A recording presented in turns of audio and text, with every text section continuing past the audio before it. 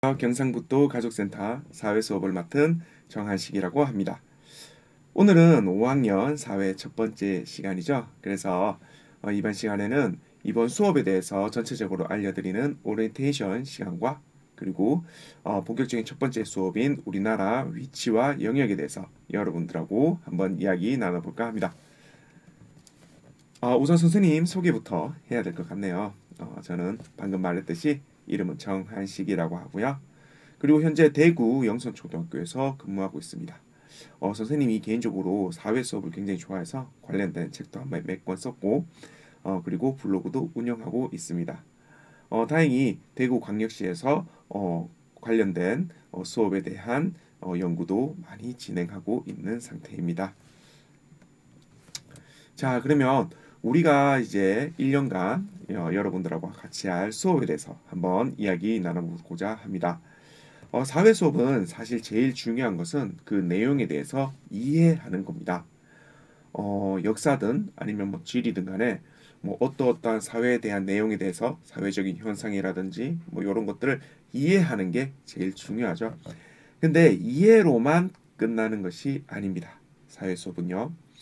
이해를 했다면 그와 관련된 것은 외워야 합니다. 그래서 어, 몇몇 선생님들이 사회는 이해하는 교과야라고 얘기를 하시긴 하지만 그 이해는 기본적으로 암기가 바탕이 되어야 합니다. 솔직히 얘기해서 역사를 공부하는데 고려라는 말도 모르고 조선이라는 말도 모르는데 어떻게 다음에 이해가 있겠습니까? 그죠? 그래서 오늘 수업한 내용에 대해서는 이해가 먼저 돼야 되지만 그 다음에는 반드시 그에 대한 용어나 이해된 내용에 대해서 암기가 되어야 합니다. 그래야 그 다음 시간에 이해도 보장할 수 있다. 이렇게 생각하면 될 것 같습니다. 그래서 선생님은 처음에 수업을 시작을 할 때 핵심 단어라는 것을 제시합니다. 그 핵심 단어는 여러분이 이번 차시에서 이해해야 될 개념이자 여러분들이 이해를 다 했으면 반드시 외워야 할 단어들입니다. 그러면 뭐 단어만 달달 외우면 되겠군 이라고 생각하면 안 됩니다. 이 단어와 관련된 내용들을 통째로 외워줘야 합니다. 예를 들어서 서희의 단판이라고 한다면 서희의 단판, 서희의 단판, 서희의 단판 그 단어만 외워야 되는 것이 아니라 서희의 단판에 있었던 일을 통째로 외워달라는 겁니다. 그러면 외울 것이 꽤 많아지죠. 하지만 사회 수업을, 사회 공부를 잘하려면 기본적으로는 이해, 그리고 그 다음은 반드시 암기가 어, 함께 되어야 하기 때문에 그건 어쩔 수 없는 일이라고 할 수 있습니다. 뭐 대신이라고 하긴 뭐 하지만 선생님이 강의를 할 때 최대한 자세히 얘기해주고 뭐 외울 필요가 없다고 생각되는 것은 이거는 그냥 듣고 마세요라고 얘기를 할 거고 이, 이 부분은 어, 단어와 함께 꼭 외우세요 하는 것은 몇 번을 강조하겠습니다. 그러면 어, 그런 부분에서라도 좀 가려서 외워주면 좋을 것 같습니다. 선생님이 수업 중에 핵심 단어가 끝나고 나면 핵심 단어 안내가 끝나고 나면 강의 듣기가 진행될 겁니다. 그러면 여러분들의 이해를 돕기 위해서 선생님이 어, 사회 수업 내용에 대해서 열심히 열심히 열심히 설명해 주도록 하겠습니다. 어, 여기 화면에서 보다시피 선생님이 오른쪽에 어, 이렇게 동그랗게 떠서 나오게 되고요. 그리고 선생님이 펜으로 글씨를 써가면서 여러분들에게 다양한 사회 내용에 대해서 설명하도록 하겠습니다. 자, 이제 강의가 다 끝나면요. 바로 다음에 저는 문제풀이 단계가 있어요. 이건 뭐냐면 여러분들이 아마 경상북도 다양한 가족센터에서 어, 교재들을 받았을 거예요. 그 교재에 대한 풀이 영상이 바로 뒤이어서 나갑니다. 그런데 이 풀이 영상을 여러분들이 그냥 바로 들어서는 안 돼요. 여기 보다시피 문제를 먼저 풀어야 합니다. 어, 그러니까 강의에 대한 설명이 끝나고 나면 선생님이 어, 문제 풀이 영상으로 넘어간다라고 얘기를 할 거거든요. 그때 여러분은 일시 정지를 누르고 반드시 교재에 있는 문제를 풀어주길 바랍니다. 그리고 그 문제는 어, 다른 사람의 힘을 빌리지 말고 여러분의 힘만으로 풀어줬으면 좋겠어요. 그렇다고 해서 뭐 어, 모르는 거는 뭐 어떻게든 뭐 풀어라 이런 걸 얘기하는 게 아니라 모르는 게 있으면 강의 듣기로 돌아가서 어, 강의 듣기를 다시 듣고 또 풀어도 되고요. 강의 듣기의 일부 부분만 들어서 풀어도 됩니다. 그것도 다 여러분들의 힘으로 푸는 거예요. 그래서 어, 여러분의 힘으로 문제를 먼저 푼 다음에 어, 문제 풀이 영상을 계속 이어서 들어주면 좋을 것 같아요. 물론 틀려도 됩니다. 여러분이 틀린다고 해서 선생님이 뭐 찾아가서 뭘 할 것도 아니고요. 다 괜찮아요. 하지만 최대한 열심히 여러분의 힘으로 풀라는 겁니다. 건성건성 대충대충 그렇게 풀지 말고요. 어, 모르는 것은 영상을 다시 듣고 풀어보고 또 아는 것은 아는 대로 최대한 자세히 한번 풀어보고 이런 식으로 말이죠.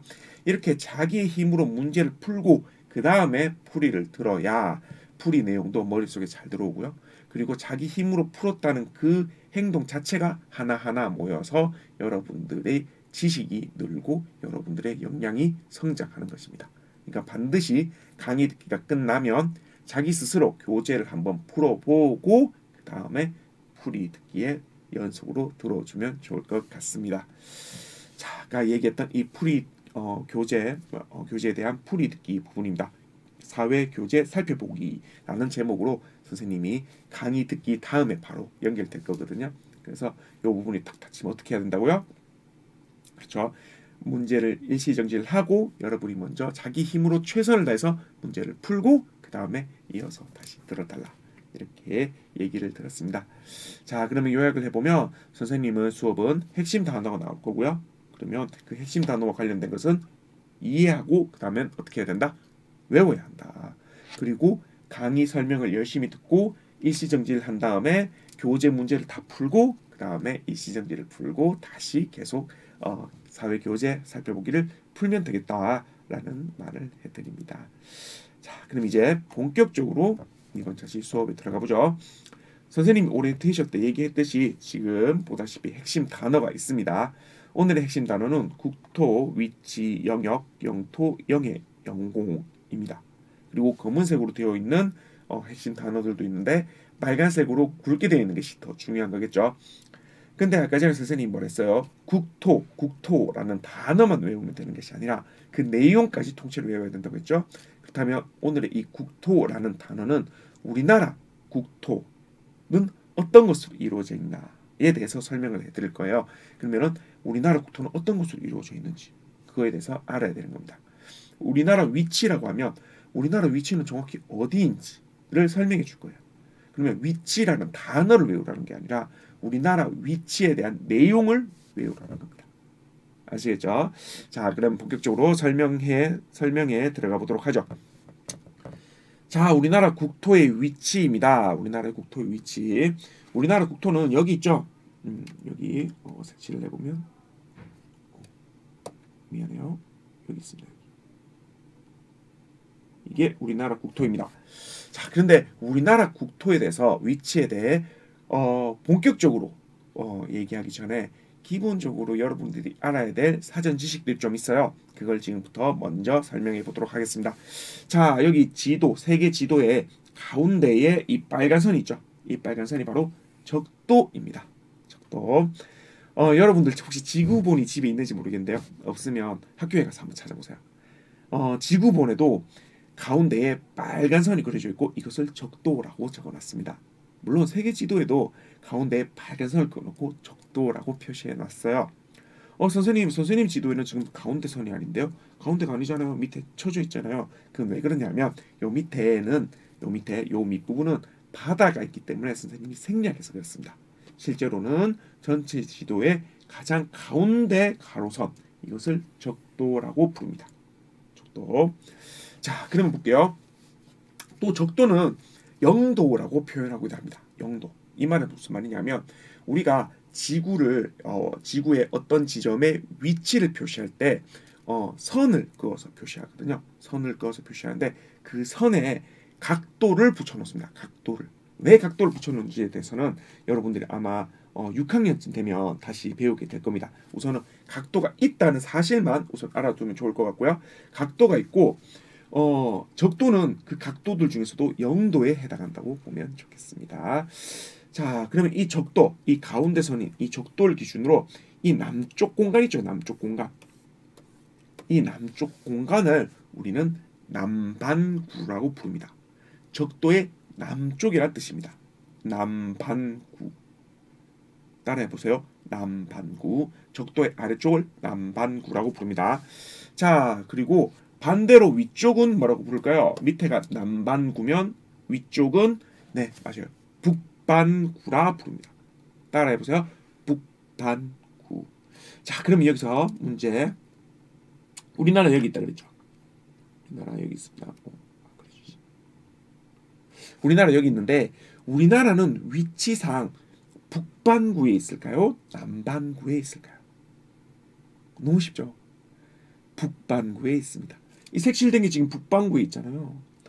어, 여기 요 땅을 우리는 우리나라 말로 호주 그리고 원래 명칭으로는 오스트레일리아라고 부릅니다.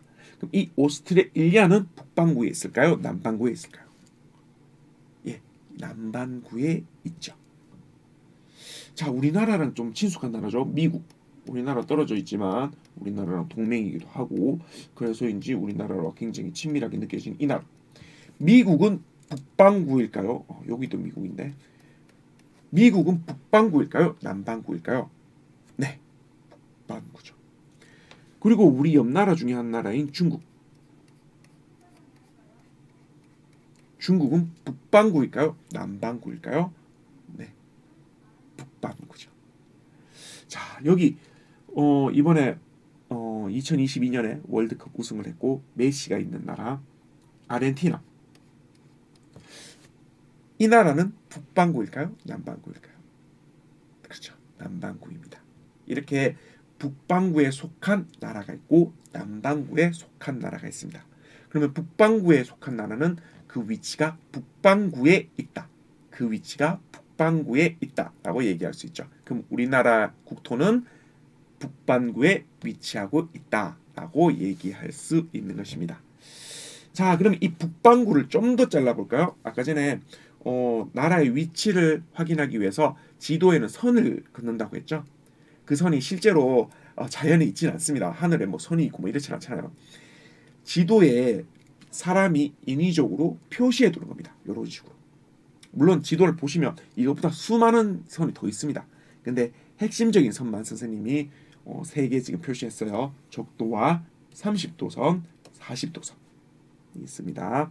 그러면 이 30도선과 60도선, 30도선과 60도선, 이 30도선과 60도선에 잘라서 이 첫 번째 공간, 두 번째 공간, 세 번째 공간도 이름이 또 있습니다. 아, 조금 어려워서 가죠. 이 전체는 모두 북반구인데 요 1, 2, 3 모두는 북반구이죠. 적도보다 북쪽에 있으니까 다 북반구인데 30도, 60도 선을 그어서 이 세 공간으로 나뉘고 이 세 공간마다 이름이 있습니다. 한번 볼게요. 적도에서부터 30도인 이 선 사이 이 공간의 이름은 북반구의 저위도입니다. 저위도. 북반구의 저위도. 어, 위도 중에서 낮다라는 겁니다. 위도 중에 낮다. 이 각도를 가로에 있는 이 각도를 우리는 위도라고도 부르거든요.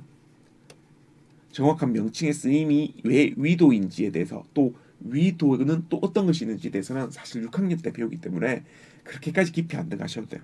하지만 요 공간은 세 부분으로 나눈 북반구를 세 부분으로 나누는 것 중에서 제일 밑에 있는 것은 밑에 있다 해서 저위도 뭐 이렇게 하니까 좀 어, 어, 어, 좀 문제가 있는 것처럼 보이는데 낮다는 뜻입니다. 그냥 낮다는 뜻입니다. 낮다는 뜻으로 저 위도라고 부릅니다. 자, 그러면 두 번째로 그 위에 있는 것은 북반구의 중위도라고 합니다. 중위도. 낮지도 않고 높지도 않고 중위도. 자, 우리나라 국토 여기 있죠? 그럼 우리는 어디에 속해 있겠습니까? 네, 그렇죠. 우리나라는 북반구에 있는데 우리나라의 위치는 북반구에 있는데 그 중에서도 북반구의 중위도에 위치한다. 라고 하면 되겠죠. 자 위에는 이제 저위도 중위도 있었으니까 그 다음 뭘까요? 고, 어 미안해요. 여기 저위도가 아니고 고위도입니다. 고위도 북반구의 고위도. 근데 우리나라는 어디 있다? 중위도에 있다. 그래서 여기 색칠 다시 해보면 우리나라는 바로 중위도에 있다는 거. 요거를 꼭 명심해 주세요. 우리나라는 북반구에 있고 북반구 중에서도 북반구의 중위도에 위치한다. 이렇게 생각해 주면 좋겠네요.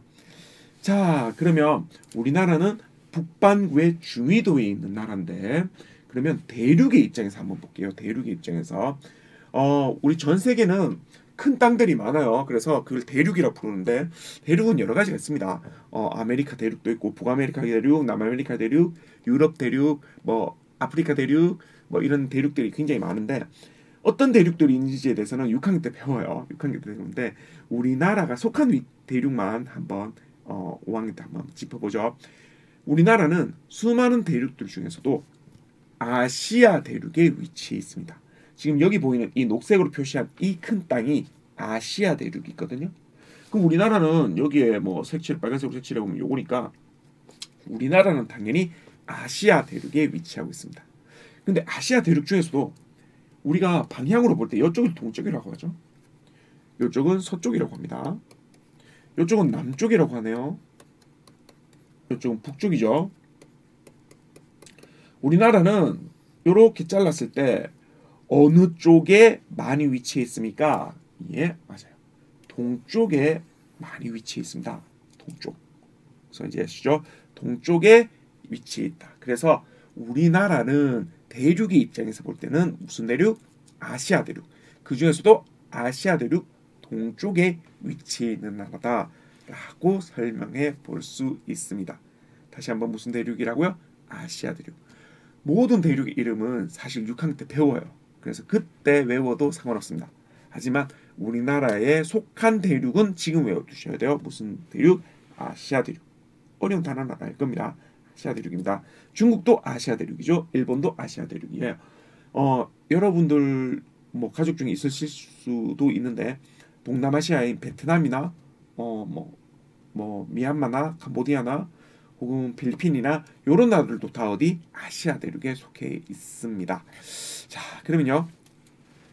어, 우리나라는 어 이제 북위도 아 그 북위도 중에서도 중위도에 북반구 중에서도 중위도에 속해 있고 또 대륙으로 따지면 아시아 대륙의 동쪽에 위치한다고 했잖아요. 그러면 어 우리나라 주변에는 어떤 나라들이 있는지 한번 볼게요. 우리나라가 여기 이렇게 있으면 우리나라 국토가 여기 이렇게 있으면요. 동쪽에는 어떤 나라가 있습니까? 그렇죠. 일본이 있죠. 서쪽에는 어떤 나라가 있죠? 중국이 있습니다. 조금 북쪽으로 가면 러시아가 있죠. 그리고 어, 우리나라 국토와 딱 붙어 있지는 않지만 조금 떨어져 있기는 한데 그래도 근처라고 볼 수 있는 몽골도 있습니다. 그래서 우리나라 주변에는 일본, 러시아, 몽골, 중국 등이 있죠. 그럼 우리나라 위치를 얘기할 때 아까 전에는 어, 북반구 중위도라고 얘기를 했잖아요. 어, 그거는 지도에 있는 선, 그 선에 따라서 얘기한 거고요. 그 다음에 아시아 대륙의 동쪽, 대륙의 입장에서 위치를 얘기한 거죠. 그럼 이번에는 주변 국가를 어, 토대로 한번 위치를 얘기할 수 있어요. 어떻게? 일본의 서쪽에 있다. 중국의 동쪽에 있다. 러시아의 남쪽에 있다. 몽골과 좀 떨어지만 몽골의 동쪽에 있다. 즉 우리나라 주변에는 몽골, 러시아, 일본, 중국 등이 있다. 이렇게 위치를 얘기할 수도 있겠죠. 자, 그럼 한번 정리해 볼게요. 우리나라는 아시아 대륙 동쪽에 위치해 있어요. 우리나라의 국토는 북반구의 중위도에 위치해 있어요. 우리나라 국토 주변에는 중국, 일본, 몽골, 러시아 등 여러 나라가 있어요. 이렇게 얘기해 볼 수 있는 겁니다. 선생님이 예전에 어, 유럽에 여행을 간 적이 있었거든요. 뭐 의사소통은 잘 되지 않았지만 어떻게 어떻게 어, 얘기를 했었어요. 어, 우리나라의 위치를 물어보신 분이 있었습니다. 어, 물론 지금은 우리나라가 굉장히 널리 알려져 가지고 우리나라 위치에 대해서 모르는 사람 거의 없는데 선생님이 그때 해외여행 갈 때만 해도 모르시는 분들이 종종 있었어요. 나라 이름 정도는 아는데 그게 정확히 어디 있는지 잘 모르시더라고요. 그래서 처음에는 아시아 동쪽에 있다 이렇게 얘기를 했어요. 그리고 북반구에 있고 중위도에 있다 얘기를 했어요. 근데 아시아 동쪽 나라가 한도 나라가 아니고요. 사실 동쪽으로 따지면 일본이 더 동쪽이잖아요. 그죠? 그리고 어, 북반구 중위도로 가면 나라가 엄청 많거든요. 중국도 그렇고 뭐 일본도 그렇고 카자흐스탄도 아마 중위도일걸요. 중위도가 엄청 많아요.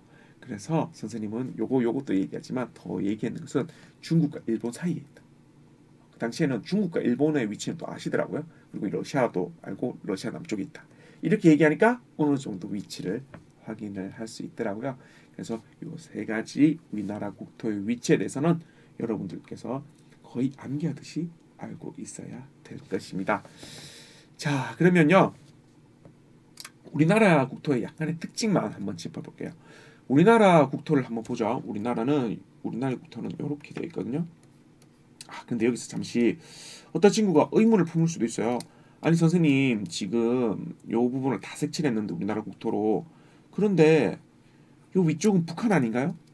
여긴 북한이고 여긴 북한이고 우리는 남한인데 왜 자꾸 우리나라 우리 남한의 국토로 북한도 다 색칠하나요? 라고 얘기하실 수 있는데요. 사실 우리나라 헌법상으로는 북한 땅도 우리 땅으로 되어 있습니다. 한반도 전체가 우리 국토로 되어 있는 것이죠. 그건 조금 이따 더 얘기하고요. 그래서 어쨌든 어, 우리나라 국토를 이렇게 한번 더 다시 한번 표시해 보면 이렇게 볼 수 있는데요. 선생님이 지금 방금 끈 이 부분은 중국과 연결되어 있는 부분이죠. 그리고 방금 조금 되어 있는 요거는 러시아랑 연결되어 있는 부분이고 어쨌든 대륙과 연결되어 있습니다. 그죠? 자, 그럼 우리나라 국토를 다시 더 그어 보면 이쪽 부분은 어때요? 이쪽 부분은 바다와 면에 있죠. 바다와 면에 있는 면 하나. 그 다음에 이쪽도 바다랑 면에 있죠. 둘. 이쪽도 바다랑 면에 있죠. 셋. 이렇게 세 면이 바다로 둘러싸여져 있는 어, 땅을 반도라고 부릅니다. 그럼 우리나라는 반도라는 땅에 있는 거죠. 그래서 우리나라 영토에 뭐라고 적혀 있다? 한반도, 한민족이 사는 반도라고 부르는 겁니다. 바다가 세면이 됐을 때 반도라고 볼 수 있거든요. 어, 그런데 반도 국가가 되게 좋은 점들이 많아요. 뭐냐면 어, 육지로도 다른 나라와 교육할 수 있고요. 바다로도 충분히 교육할 수 있죠. 그렇죠? 그래서 그런 장점이 있다는 점도 좀 알아줬으면 좋겠어요. 우리나라는 반도 국가고 그래서 육지로도 바다로도 교육하기가 쉽다. 일본은 섬나라죠. 섬나라는 네 면이 다 바다일 때거든요. 이쪽도 바다죠. 이쪽도 바다죠. 이쪽도 바다고 이쪽도 바다예요. 그래서 얘네들은 육지로는 이동을 못해요. 오로지 바다로만 진출할 수 있죠. 자, 그러면 이제 다음 부분 이번에는 우리나라 영역에 대해서 한번 알아볼 거예요. 우리나라 국토의 영역입니다. 어, 영역이라는 말은 한 나라의 영역이란 말은 한 나라의 주권이 미치는 범위입니다. 말이 더 어렵지 않나요? 선생님은 어, 5학년을 가르칠, 때, 가르칠 때마다 영역이란 말보다 이 풀이가 되어 있는 한 나라의 주권이 미치는 범위 이 말이 더 어려운 것 같아요. 왜냐? 주권 때문이죠. 주권은 그 나라가 알아서 할 수 있는 권리입니다. 그 나라가 알아서 하는 권리요. 예를 들어서 어, 우리나라가 뭐 정치를 이렇게 하고 경제 정책을 이렇게 하고 하는데 미국이 갑자기 와서 야, 야 그렇게 하지 마. 이렇게 해야지. 이렇게 이렇게 할 수 있나요? 할 수 없죠. 물론 뭐 서로 어, 미국과 우리나라가 서로 서로 뭐 교육을 하고 이런 것에서는 서로 얘기를 해서 합의점을 찾아가겠지만 우리나라 안의 문제는 우리나라만 얘기할 수 있어요. 다른 나라는 얘기를 하면 안 되죠. 왜냐하면 그 나라의 주권이 있으니까. 즉 주권이라는 것은 주인된 권리라는 의미이긴 한데 좀 쉽게 말해서 그 나라가 어, 그 나라 의지대로 마음대로 할 수 있는 권리를 말합니다. 그래서 우리나라가 우리나라의 의지대로 주인에게 무엇인가를 할 수 있는 권리가 미치는 범위를 말하는 겁니다. 아, 우리나라가 음, 일본에서 무슨 일이 생겼어요. 일본 땅에서 일본 땅에서 무슨 일이 생겼는데 아, 대한민국의 권리로서 니들이 뭐 이렇게 하면 안 되고 뭐 이런 말 못 하죠. 왜냐하면 그 일본 땅은 일본이라는 나라에게 주권이 미치는 범위이기 때문입니다. 무슨 말인지 아시죠? 자, 그러면 이런 영역, 이 영역은 세 개로 나눌 수가 있어요. 이거 외우셔야 됩니다. 영토, 영해, 영공입니다. 누가 봐도 영토는 땅이죠. 땅이고요. 영해는 바다입니다. 영공은 당연히 하늘이에요. 땅과 바다, 하늘 모두 우리나라의 영역을 표시할 수가 있습니다. 그러면 이제 고 표시된 것을 알려드릴게요. 그것도 배워야 돼요. 한나라의 영역 뭐 있다? 이거부터 외우시다. 뭐라고요? 영토, 영해, 영공이다. 이거부터 무슨 예 외우세요. 자, 영토부터 갈게요. 영토는 아까도 얘기했지만 땅의 영역이에요. 근데 우리나라는 어떤 영역으로 얘기하고 있냐면 한반도와 한반도에 속한 여러 섬들을 이야기합니다. 아까도 얘기했지만 북한 땅으로 알고 있는 그 한반도의 북쪽도 우리나라 한반도로 여기고 한반도도 우리나라 형토로 여기고 있습니다. 어, 잠깐만 왜 그런지 얘기하면요. 어, 우리가 분단이 될 때 사실 북한 정부를 정부로 인정을 하지 않았었어요. 어, 정부로 인정을 하지 않고 어, 우리나라가 우리나라만이 유일한 정부인데 어, 북한 정부는 우리나라 정부를 거부하고 세운 잘못된 정부라는 인식이 강했습니다.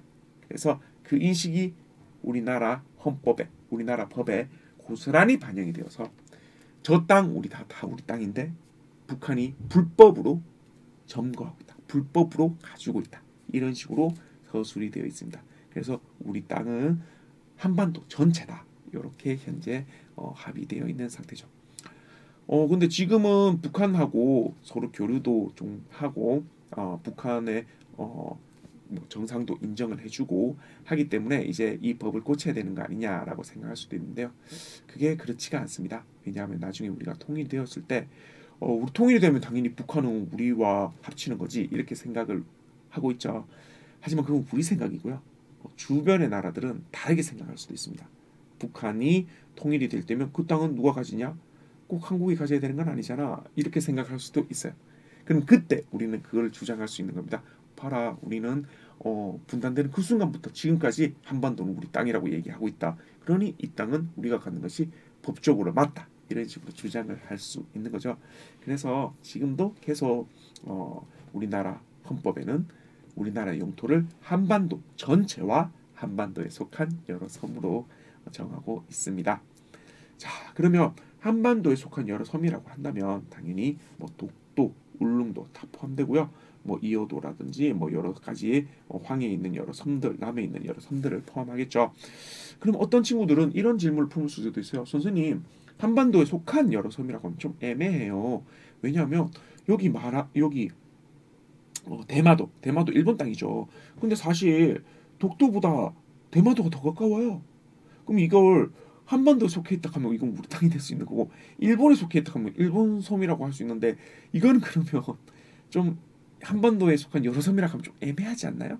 라고 얘기할 수 있어요. 그래서 어, 우리가 영토로 얘기할 때는 이렇게 두리뭉실하게 얘기하지만 실제로 할 때는 어, 동쪽에는 어디까지, 남쪽에는 어디까지, 서쪽에는 어디까지 하고 되게 명확하게 나타내어 있습니다. 조금 이따가 더 얘기해 드리도록 할게요. 어쨌든 우리나라의 영토, 용토, 영토는 한반도 전체와 한반도에 속한 여러 섬이다. 이렇게 외워 주십시오. 자, 그 다음에 영해 볼게요. 영해는 한반도와 한반도에 속한 여러 섬 주변의 바다겠죠. 주변의 바다. 근데 요건 되게 명확하게 좀 되어 있어요. 주변의 바다라고 한다고 하면 사실 저 태평양 멀리까지 다 우리 주변이라고 하면 할 말 없는 거잖아요. 근데 그렇게 잡는 것은 아니고 정확하게 썰물 기준. 그러니까 우리 바다는 밀물이 있고 썰물이 있잖아요. 그러면 썰물을 했을 때의 고 해안선, 고 바다와 땅의 경계선으로부터 12해리입니다. 12해리는 뭐 이게 뭔지까지 깊이 파고드실 필요는 없어요. 12해리는 바다를 거리를 측정하는 단위입니다. 우리 땅을 측정하는 단위는 킬로미터가 있잖아요. 킬로미터. 그와 비슷한 거라고 생각하면 됩니다. 그러니까 단위를 재는 어, 거리를 재는 단위다 생각하면 되고요. 거리를 대, 재는 단위로서 12해리까지가 바로 그 나라의 영해라고 어, 전 세계 국제법으로 되어 있습니다. 그래서 우리나라도 어, 썰물 기준으로 해안선의 12해리, 요게 12해리 정도 되거든요. 12해리까지가 우리의 영해입니다. 근데 보세요. 동해 보세요. 12해리까지 끄면 울릉도와 독도 주변의 바다는 우리 바다가 안 되는 거잖아요. 그게 아니라 이렇게 12해리로부터 떨어진 섬들은 그 섬을 기준으로 또 12해리가 우리 바다가 됩니다. 그래서 독도는 사실 저만 하지만 지도로 보면 저만 하지만 여기 파랗게 넓게 되어 있는 것은 독도로부터 12해리 이렇게 보고 있는 겁니다. 자, 그런데 어, 요 지도를 잡으면 이상하게 생각할 만한 부분이 있어요. 그죠? 동해는 어, 요 썰물로부터 CBL이가 확실한데 오케이 오케이 그건 알겠어요. 근데 요거는 같은 CBL이라고 보기가 너무 어렵지 않나요? 이 거리하고 이 거리하고 뭐 재보지 않아도 누가 봐도 요게 더 먼데 요 부분이 더 먼데 요거는 CBL이다. 오케이 요게 CBL이라면 인간적으로 요건 CBL이가 아니잖아요. 이렇게 생각할 수 있을 것 같아요. 맞아요. 맞아요. 어 그리고 또 하나의 또 의무점이 생길 수 있죠. 어 동해는 섬이 별로 없어요. 근데 황해는 섬이 엄청 많거든요. 여기서부터 요 썰물 해안선으로부터 CBL이 해버리면 한 요 정도 될 텐데 그러면 우리 섬이 완전히 밖으로 튀 나가 버려요. 그럼 여기서 또 동그라미 또 칠할 수 있겠죠. 독도처럼. 그러면 굉장히 복잡해져요. 해안선이 또 울둥둥울둥하고 이상해지겠죠. 그래서 이렇게 섬이 많은 지역은 어떻게 하는 거냐 하면요. 이 해안선에 육지에 육지에 썰물을 기준으로 CBA를 잡는 것이 아니고 아니고 섬이 많을 때는 여기 바깥에 있는 섬들들 중에서 제일 육지랑 많이 떨어져 있는 섬이죠. 제일 많이 떨어진 섬. 이 섬에 선을 그어요. 이것을 기선이라고 합니다. 기선. 기선 외필 까지는 없어요. 그 선으로부터 CBL을 우리 영이라고 합니다. 무슨 말인지 이해하시죠? 섬이 많은 경우는 그 해안선에서부터 땅에 있는 해안선부터 CBL이가 아니라 땅에서부터 가장 멀리 떨어진 섬들을 찍고 그 섬들을 선으로 연결해서 그 섬들이 연결된 선으로부터 CBL이에요. 그러다 보니 동해보다 황해의 영해가 훨씬 큰 거죠. 어, 이해하죠? 남해도 마찬가지예요. 남해도 섬이 굉장히 많거든요. 남해는 다도해라고 불릴 만큼 다 마늘 다 섬도 바다 해 다도해라고 불릴 만큼 황해보다 섬이 너무 많아요. 그러다 보니까 가장 멀리 떨어진 섬을 이렇게 이어버리는 거죠. 그리고 여기서부터 12해리를 또 그어요. 어, 다시 한번 정리하면 동해안은 섬이 거의 없거든요. 독도와 울릉도 빼고는 섬이라고 할 만한 게 없어요. 그러다 보니까 해안선으로부터 썰물에서 12해리예요. 근데 황해안과 남해안 같은 경우는요. 섬이 굉장히 많아요. 그래서 육지로부터 가장 멀리 떨어진 섬의 선을 긋고 그 선으로부터 12해리가 영해가. 그러면 이런 얘기를 할 수 있죠. 선생님 그러면 섬이 많으면 영해도 많아 넓어지는 거네요. 예 맞아요. 섬이 많으면 영해도 넓어져요. 그래서 사실 일본은 어, 섬들이 좀 자체도 섬이지만 그 외에도 작은 섬들이 많거든요. 그래서 우리보다 영해가 좀 많이 넓은 편이다. 이렇게 생각하실 수도 있을 것 같아요. 자, 그 다음에 영공이에요. 영공은 좀 간단해요. 영공은 어, 영해와 영토 위의 하늘이에요. 영토 위의 하늘. 자, 그러면 당연히 이 지도에서 보듯이 우리나라 영해 요 부분 영해 아까 전에 표시한 요 부분 모두 하늘이 모두 우리나라 영공이죠. 근데 여기서 좀 이상한 점이 있을 거예요. 어 그런데 북한 쪽 지역에서는 영해는 우리나라의 영공이 아닌가요? 북한 쪽 지역의 영해 위쪽은 우리나라의 영공이 아닌가요? 야, 아니에요. 왜냐하면 북한 쪽의 영해는 어, 우리가 우리 바다라고 헌법상으로 되어 있지 않기 때문에 어, 그 한반도 지역 부분의 하늘만 우리나라 어, 영공으로 표시되어 있어요. 굉장히 애매하죠. 이런 애매함이 바로 분단 국가의 음, 안타까운 점 중에 하나입니다. 우리가 통일이 된다면 이런 애매함도 깔끔하게 처리가 되겠죠. 자, 그러면요. 오늘 영공, 영해, 영토 다 봤는데요. 아까 전에 왜 영, 영토의 경우 조금 애매한 부분이 있다 그랬죠? 뭐냐면 어, 한반도와 주변 섬이라고 해놓으니 어디까지가 섬인지가 알 수가 없잖아요. 저쪽에 어 뭐 일본에 있는 섬도 우리 섬이 될 수 있는 거고 왜냐하면 그 한반도 주변 섬이라고 했으니까 다 주변이 될 수 있으니까요. 그래서 명확하게 영토는 동서남북에 어, 여기까지 여기까지 여기까지라고 찍어놓은 부분이 있습니다. 그걸 한번 살펴볼게요. 우리나라 동쪽으로서의 영역은요. 어, 영토의 영역은요. 경상북도 울릉군 독도가 제일 동쪽의 마지막 지점입니다. 독도. 그 다음에 남쪽으로는요. 제주특별시 자치도, 제주특별시 자치도 마라도, 마라도가 있거든요. 마라도. 마라도 부분이 어, 우리나라 최남쪽이라고 보면 되고요. 그 다음에 서쪽은요. 북한 쪽이 있어요. 영토는 북한 영토는 우리 헌법상 우리 땅으로 되어 있다고 얘기 드렸죠. 평안북도 영촌군 만도라는 약간의 섬이 있어요. 여기 작은 섬 여기까지 다 보면 되고요. 어 그다음 북쪽으로는요. 함경북도 온성군 유원진 요 땅이 되겠습니다. 요 땅이 북쪽이다 생각하면 되겠습니다. 선생님 이거 네 개를 다 외워야 되나요? 너무 힘들죠. 다 외울 필요는 없고요. 그래도 대충은 알아야 돼요. 북쪽이라고 하면 함경북도에 뭐 어디더라. 뭐 서쪽이 끝이라고 하면 평안북 도 어디쯤이더라. 남쪽이라고 한다면 제주도의 어디 섬이라고 했는데 어 동쪽은 요건 외울 수 있죠. 독도는 하도 많이 들어봤어요. 여러분들이 잘할 거니까 독도더라. 요 정도는 여러분들이 외워 주셔야 돼요. 어, 요 정도는 외워 주실 필요가 있다. 자, 그러면 오늘 배운 거 한번 정리를 해 볼게요. 어, 우선 우리나라 국토는 아시아 대륙의 동쪽에 위치해 있다고 얘기 드렸어요. 그 다음에 우리 국토는 북반구의 중위도에 위치해 있고 우리나라 국토 주변에 중국, 일본, 몽골, 러시아 등이 있다. 이렇게 위치를 나타내는 세 가지 방식이 있죠. 대륙 동쪽, 아시아 대륙 동쪽, 북반구 중위도, 그 다음에 우리나라 주변에는 어떤 나라가 있다. 이 세 가지 꼭 외워두셔야 됩니다. 통째로 외워두셔야 돼요. 위치를 나타내는 세 가지 방식 꼭 외워주세요. 그리고 우리나라는 반도 국가인데 이거는 외울 필요가 있는 것이 아니라 상식적으로 생각해보면 그렇죠. 육지로도 교류하기 쉽고 바다로도 교류하기 쉽다. 그 정도는 여러분이 알 수 있죠. 그죠? 반도 국가라는 용어는 외워주셔야 돼요. 자, 그 다음에 우리나라 영역 뭐 세 가지 뭐 있다고요? 영토, 영해, 영공 요 세 가지가 있다. 꼭 외워야 돼요. 지금 외우세요 바로.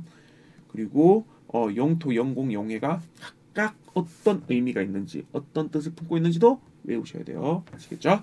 자, 외울 거 굉장히 많죠. 사회는 어, 이해 과목이긴 합니다만 어, 선생님 이해 과목이라고 생각을 하지 않고 이해와 암기의 과목입니다.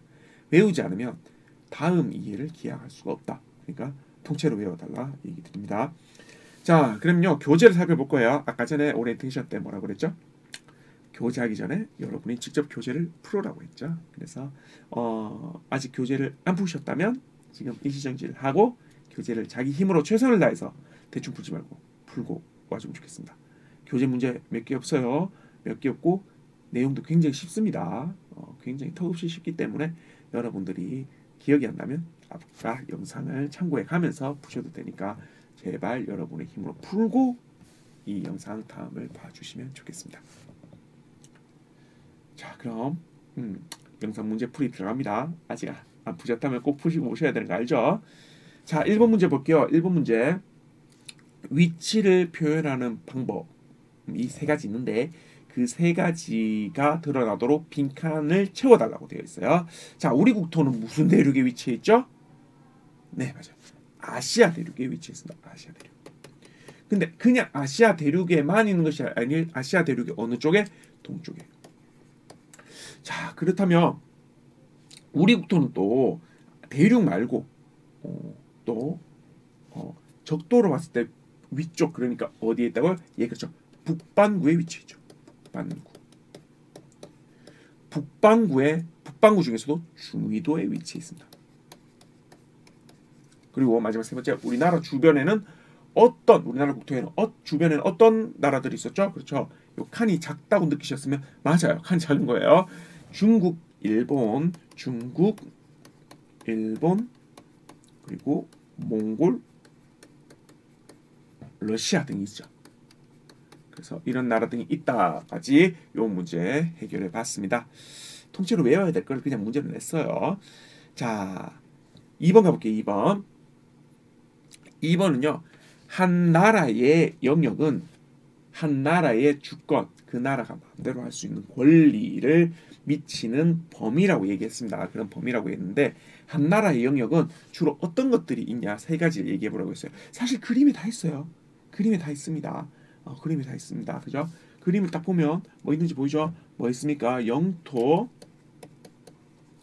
영해 영공입니다. 물론 순서 바뀌어도 됩니다. 다 우리에겐 소중한 어, 영역이기 때문에 순서 바뀌어도 됩니다. 그런데 영토, 영해, 영공 요 세 가지는 꼭 외워주셔야 됩니다. 자, 그 다음에 영토, 영해, 영공을 어, 영토, 영해, 영공과 관련된 그림에 영토, 영해, 영공을 적으라는 거죠. 적으라는 겁니다. 자, 첫 번째 거 여기 보세요. 우리 대한민국에 보면 어 동쪽에 동해안으로부터 12해리, 그 다음에 울릉도 독도는 섬이기 때문에 요 주변에 12해리, 그리고 서해랑 남해는 제일 바깥 끝 끝섬을 연결한 그 선, 기선으로부터 12해리. 이거는 무엇을 말하는 거죠? 네, 영해를 말하는 겁니다. 영해를 말하는 거죠. 자, 그리고 우리나라 한반 우리나라의 영역 중에서 한반도 전체와 그 주변의 섬들 한반도 전체와 그 주변의 섬들은 뭐라고 부를 수 있죠? 네, 영토라고 부를 수 있습니다. 그리고 한반도와 그 주변의 섬들 그리고 어, 영해 주변의 바다, 우리나라 바다 위에 있는 하늘들을 표현하는 거죠. 위에 있는 하늘들은 무엇이라고 부른다고 했죠? 영공이라고 불렀습니다. 자, 이 지도 그림들과 영해, 영공, 영토관까지 연결할 수 있는 그런 것까지 여러분들이 하실 수 있어야 된다라고 얘기 드릴 수 있을 것 같아요. 자, 그럼 4번 문제 정답 확인해 보시고요. 어, 4번 문제입니다. 4번 문제는 우리나라 영토 중에서 명확하게 동서남북의 양 끝을 한번 연결해 보라는 건데요. 이걸 외울 필요까지는 없다고 얘기를 드렸어요. 이걸 다 못해요. 온성군 유원진 솔직히 얘기해서 선생님도 지금 방금 방금 알았어요. 어, 선생님도 이거 다 못 외웁니다. 그러면 어느 정도까지만 외워주면 된다? 어, 제주도, 독도, 평안북도 어딘가, 한경북도 어딘가 요 정도만 외워줘도 돼요. 어, 이걸 풀로 다 외우실 필요까지는 없습니다. 저는 선생님은 그렇게 생각을 해요. 자, 우선 남쪽의 영토의 끝인 이 부분은 어디죠? 누가 봐도 제주도 그 인근이죠. 그래서 제주도 연결하면 되고요. 자, 요거는요. 동쪽의 끝은요. 독도죠. 그래서 독도 연결하면 되고요. 서쪽의 요 끝은 여기는 평안도라는 곳입니다. 그래서 평안북도.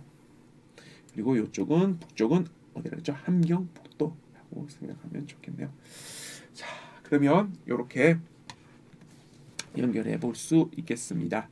자, 지금까지 이번 첫 번째 차시 오리엔테이션과 우리나라 국토의 위치와 영역에 대해서 여러분들하고 한번 얘기해 봤는데요. 핵심적인 단어는 여기 있는 이것이라고 얘기를 드렸죠. 아, 아까 전에 오리엔테이션 때도 얘기했지만 이 핵심 단어, 단어를 외우라는 게 아니었어요. 단어와 함께 뭘 외워야 된다고요? 그 단어에 담긴 내용들도 모두 외워주셔야 합니다. 어, 지금 와서 수업이 끝나는 중에 선생님 여러분들도 눈치챘겠지만 빨간 단어들, 빨간 핵심 단어 밑에 있는 검은 핵심 단어들은 빨간 핵심 단어들을 설명할 때 쓰일 만한 단어들이거든요. 그래서 여러분들이 이 장면을 일시정지 해 보시고 어, 내가 이 빨간 핵심 단어를 검은 핵심 단어를 이용해서 설명할 수 있는지를 혼자 설명을 해 보세요. 그래서 혼자 설명이 잘 되면 다 암기가 된 거고요. 혼자 조금이라도 설명이 안 되면 다시 외우고 다시 설명을 하셔야 됩니다. 어, 너무 어렵다고 생각할 수도 있지만 공부 어려운 거 맞습니다. 그거를 여러분들이 피하지 말고 뭐 쉬운 방법이 있겠지, 요령이 있겠지 이래 생각하지 말고요. 어려우면 그것을 직접 피하지 말고 정면으로 맞닥뜨려서 그것을 돌파해내고 해결해 나가야 합니다. 어, 좋은 방법, 쉬운 방법 있단 거는 공부에서 없습니다. 그런 얘기를 하는 것은 사기입니다. 여러분들이 어려운 게 있으면 정면으로 맞서서 그걸 다 이해하고 암기하고 해결해 나가야 여러분의 것이 된다는 것. 그것을 명심해 주시고 다음 수업에 다시 만나도록 하겠습니다. 정말 수고 많으셨습니다. 감사합니다.